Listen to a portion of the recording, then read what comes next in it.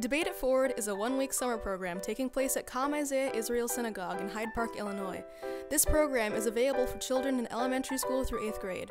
Each day starts with students meeting in their classrooms at Kam Isaiah Israel. The counselors will lead the campers in a day opening activity pertaining to the day's topic, which will lead into the announcement of that day's debate.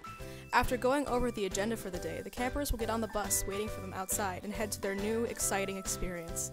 Summer 2017's field trips included the Museum of Science and Industry, the Field Museum, Lincoln Park Zoo, the Chicago Courthouse, and the Adler Planetarium.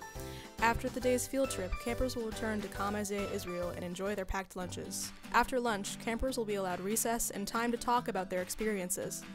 Once their break has ended, campers will meet with their counselors in their classroom and discuss what they saw and experienced and freely talk about their varying opinions. Once campers have had time to share their thoughts, they will split into groups and participate in counselor supervised debates. The day is ended with playing games with everyone together, reminding them about their varying opinions but their common goals to become the best debaters they can be. This program will give your child new skills that will last them a lifetime and allow them to truly speak their mind and to stand their ground. I love you. So what are you waiting for? Debate it forward.